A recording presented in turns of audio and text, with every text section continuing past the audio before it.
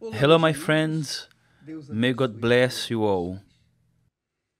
And I pray, I ask, I desire, I supplicate, I cry out to God so that His Holy Spirit, the Spirit of life, of eternal life, the Spirit of resurrection, the Spirit of light may come upon you right now, and especially you who are suffering, you who are groaning, whatever your situation is, you who are suffering right now in this moment, may the Holy Spirit come upon you.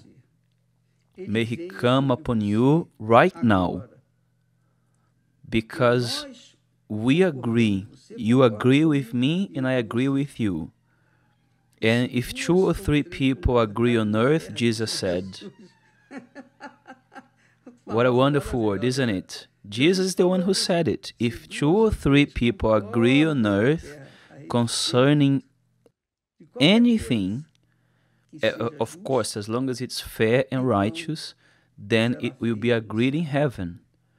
May the Holy Spirit come upon all, all of you, all those who are connected here with me right now, because I want you to receive life and receive it to the full. See, I was thinking here today concerning the biblical text that speaks of God's choices. Uh, my apologies when I laugh like this. Please, I'm not laughing at anybody. I'm laughing because I'm happy. I rejoice whenever I read the Bible. So there are certain passages that bring joy to me, to my soul. They bring so much joy that only laughing to externalize. what is inside of me. Anyway, concerning God's choices, the Holy Text says that He doesn't choose the wise, He doesn't choose many wise, because the wise ones they trust in their wisdom. So God leaves this, the wise ones to decide. Not many mighty. He also doesn't call many that were mighty, because the mighty have power. They have political power, financial power, they have power to influence. So God doesn't call them either. And then He doesn't call many noble.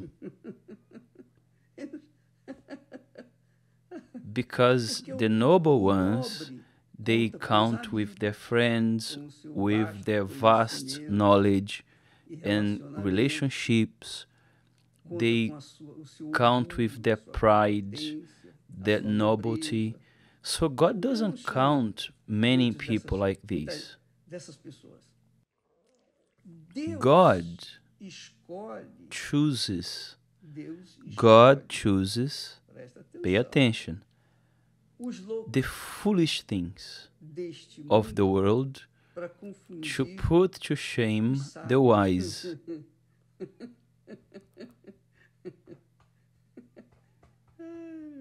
oh, my Father. He called me, He chose me. For sure, I was a foolish one. I was, I don't know, despised, rejected, but God called me, chose me. Thank God. Praise be to Him. And that's why we want to pass on to other people the experiences that He has given us. So God calls people who are foolish according to this world, people who are possessed, people who are despised, people whom are despised by others. And that's exactly what the Holy Text says. God has chosen the weak things. So those who are weak, are, are you weak? Then God chose you. My dear friend, He chose you. You who are weak, you who have been weak, feeble, God has chosen you. What for? To put to shame the strong and mighty, those who think they are very important. Are you ugly? If you are ugly, if you have, let's say, a strange appearance, then God called you to put to shame those who are beautiful, those who have a good appearance. Do you believe in this? I do. I believe. Because it's what is written here. God has chosen the foolish things of this world, the base things, the things that are despised, the rubbish of the world, and the things which are not, to bring to nothing, to eliminate the things that are. And why does God do that?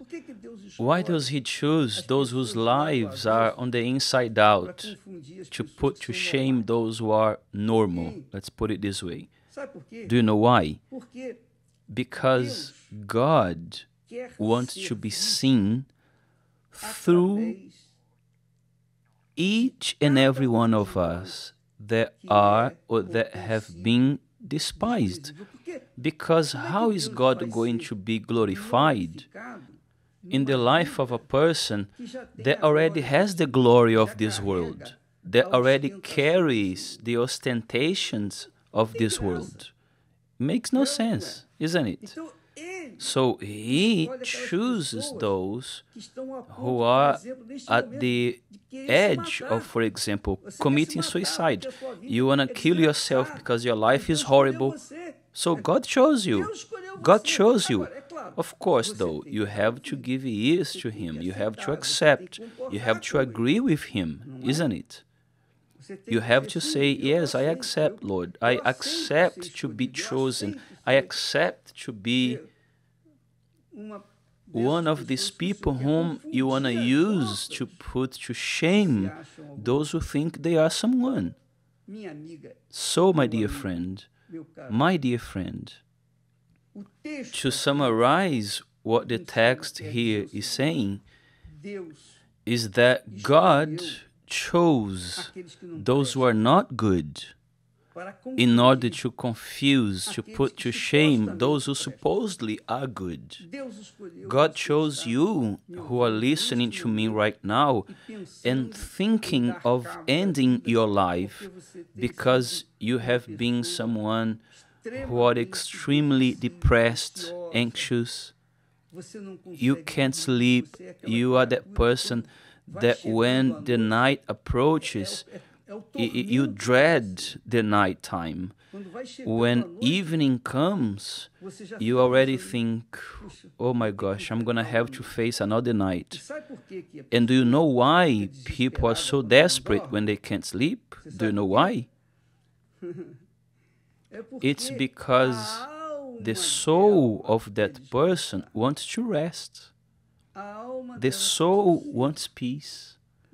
And only at night when they sleep that they have peace in their soul. To those who do not believe in God, those who don't care at all about what He says. So God gives to everyone the privilege, good and evil people, He gives them the privilege of spending a night and sleeping and resting, resting their soul, to alleviate their soul. He gives the night for this reason. But when evening comes, the night approaches, many people are worried. And now, what's going to happen? I'm going to have to spend one more night awake. and they feel even envious of those who can sleep. Yes or no? I can even imagine. I imagine a person, for example, lying next to someone who is snoring. How envious I feel. I wish I could sleep like that. Very well, God chose you, you who suffer with insomnia, with anxiety, with fear, full of doubts. He chose you who are groaning so that His greatness could be manifested in your life and that everyone could see, can see, look, indeed, this person was rubbish. Look how they are. They are someone honorable, someone who has a family, a person who is well set in life. Look at that. What happened to your life? And then you can say, Look, I had an encounter with God. I had an encounter with the Lord Jesus. I received the Holy Spirit. So the person is like, oh wow, how wonderful.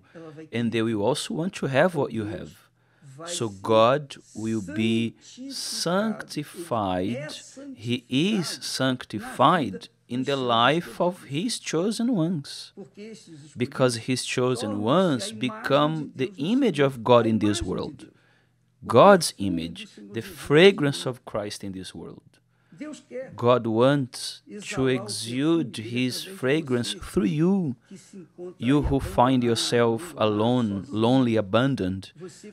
You placed your heart, your deceitful heart, you placed your heart on someone. You gave your heart to somebody, but that person deceived you. That person deceived you. That person took advantage of you.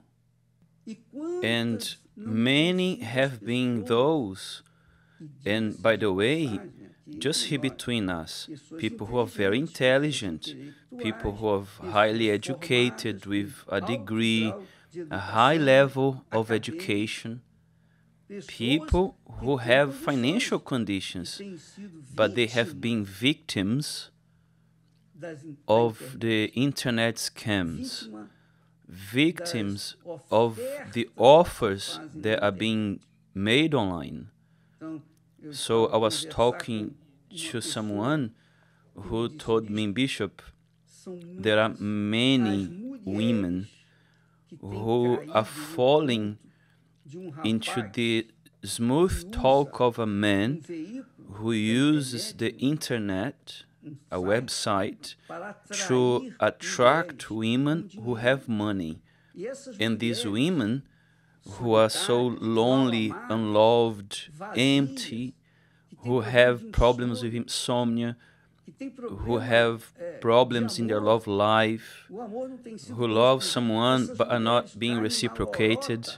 And these women fall into the lies of these criminals of these people who have bad intentions and they end up losing a whole lot of money because they believe in the fantasies that these elements and so many others are there lying about on the internet. But why do they get deceived?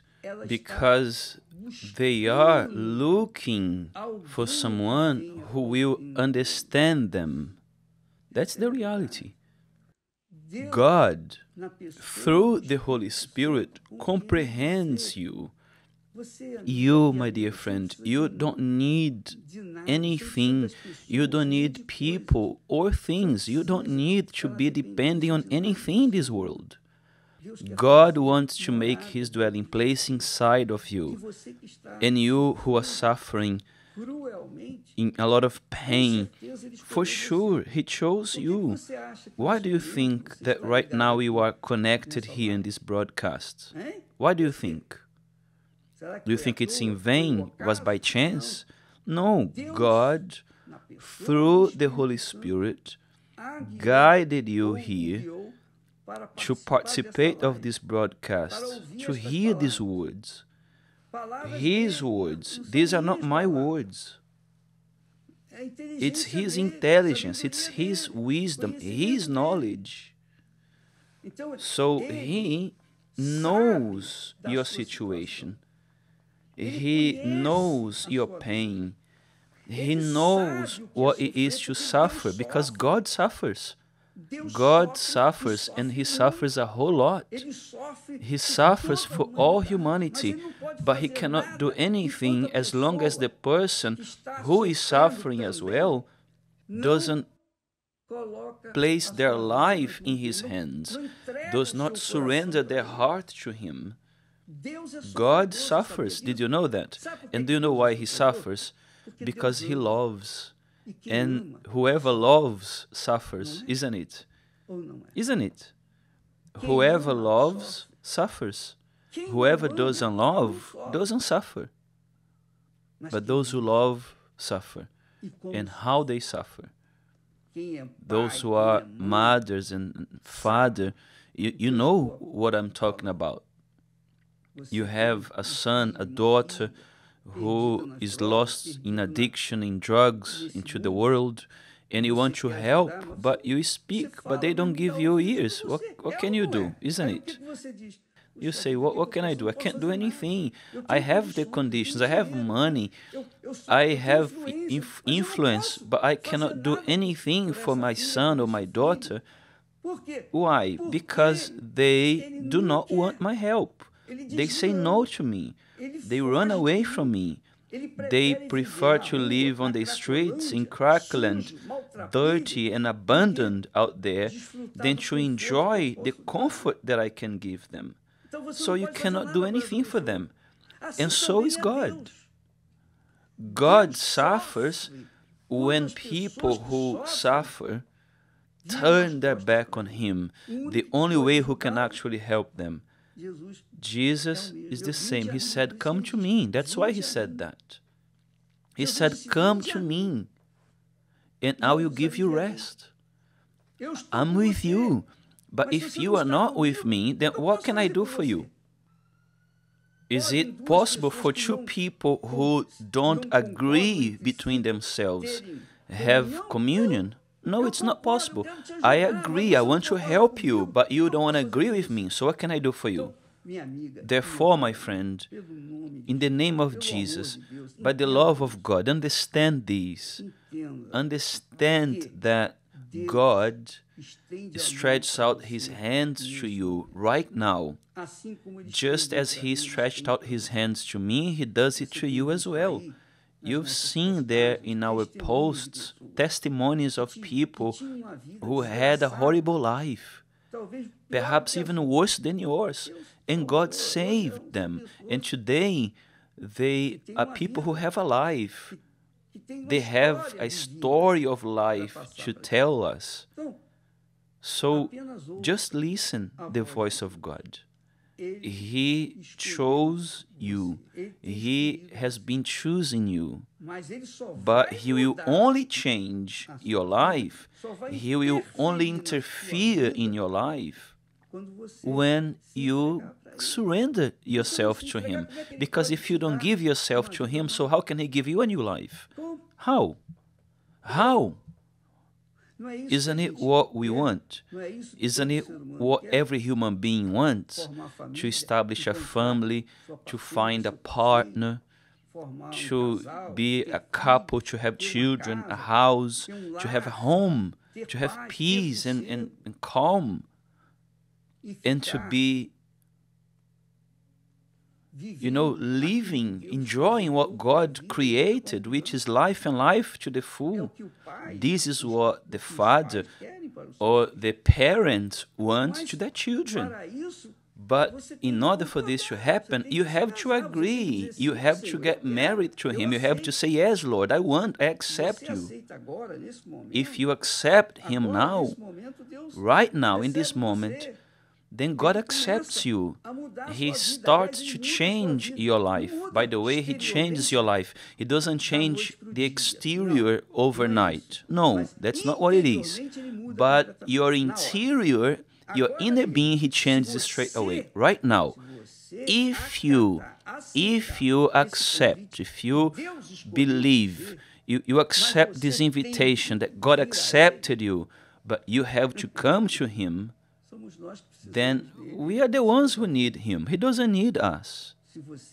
If you say, Yes, Lord, have mercy on me, He's my life, He's my life, you are going to see that the Holy Spirit will visit you, will change your mind. First, He changes your mind, your thoughts. He changes it. And once He changes here, your mind, then He changes your exterior as well. When He delivers you, He sets your soul and heart free because you are the owner of your heart and only you can give it, surrender it to Him or not. If you want, then He does it right now. Right now, this very moment. Do you want it? And I'm speaking here with people who are considering themselves rubbish right now. You are being considered rubbish by society, by family, your loved ones, by people that you thought could help you. And you don't need to count on anybody right now anymore. You can count on the one who said, Come to me, and I will give you rest. Do you want it? So, if you want it right now, in this moment, I will unite my faith with yours, and we are going to pray. And in Jesus' name, it will happen that the Holy Spirit will meet you to change the situation. All right? Let's talk to God. Yes? Let me just drink some water, please. Excuse me.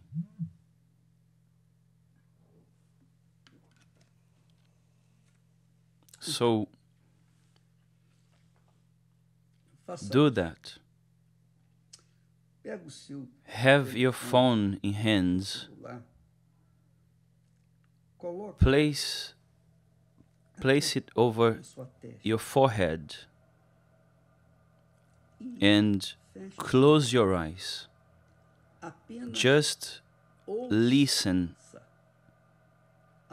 to my prayer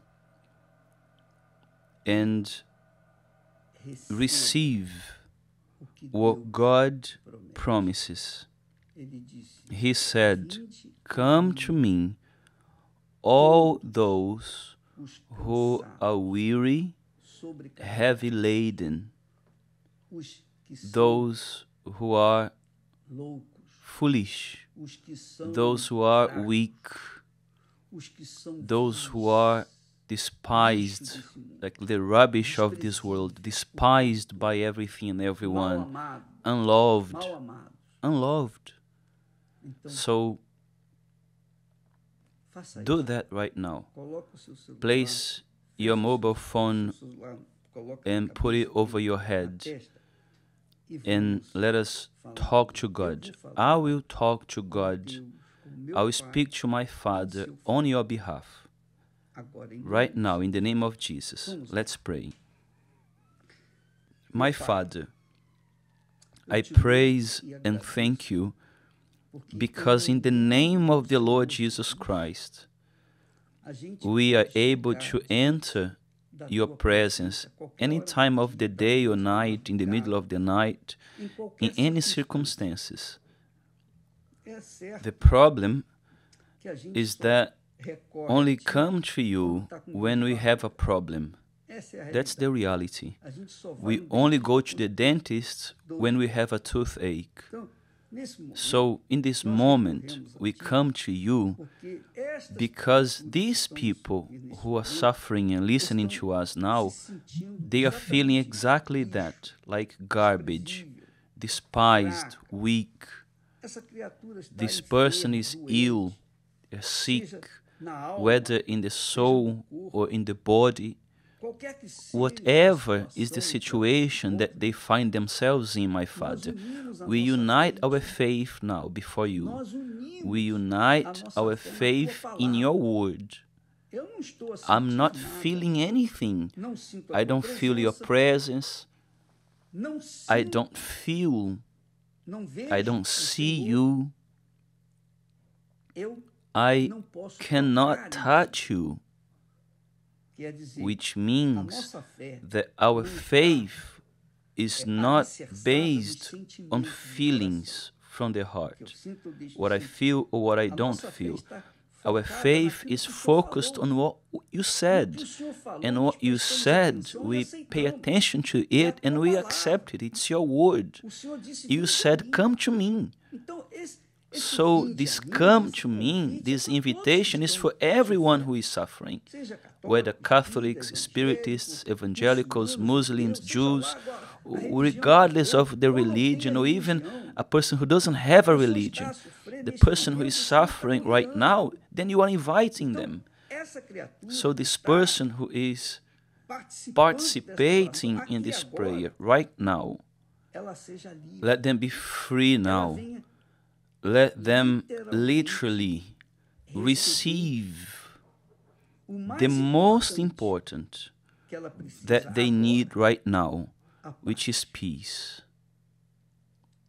In the name of the Lord Jesus Christ, the Spirit of peace comes and penetrates inside of this heart and remove the doubts, the fears, anxieties, preoccupations. fazer este coração Let this heart receive peace, my Father. Peace. Que a paz That the peace you've given me will come upon this person right now. and that the joy que o Senhor that you've given me will also come with this peace. I ask you, Holy Spirit, that just as you came upon my minha vida, a life and the life of so many millions of people who have come to the Universal Church, venha sobre essa let it come upon this person now, so that it will be made clear, evident, that it will be registered that what we've read here, that you chose the foolish things to put to shame the wise, you chose the base and despised things, and those that are not, to put to shame those that are. O Almighty God of Israel, let it happen right now, right now. Let there be a transformation in this person that watches us, that participates in this prayer, em o nome in the name and by the merits of the Lord Jesus Christ. We ask you and we thank you. Amen and thank God. Amen. My dear friend, I believe. Do you believe with me? Then we agree. With this and this happens right now. And pay attention, please. Let me come close eh, to you. Pay close attention. Quando a gente When we receive peace, sabe o que, que do you know what happens? Right after comes the joy. The joy que a paz that the peace brings. Rejoice. Eu sei que os problemas I know that the problems are on the outside. Your problems continue there. But the most important, your interior receives peace so that you can face these problems and overcome them every day. And the Holy. Spirit will give you wisdom for that, okay? May God bless you all. And don't forget, today, Thursday, later on at 8 p.m. here in the Temple of Solomon or at any universal church of the Kingdom of God, you have the opportunity to participate of the love therapy to resolve your problem in, in your love life. Come to learn how to love.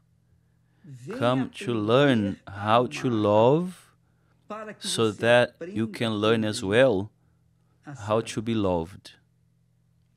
To be loved. The love therapy at 8 p.m. tonight. God bless you all. And until then, in the name of Jesus. Amen.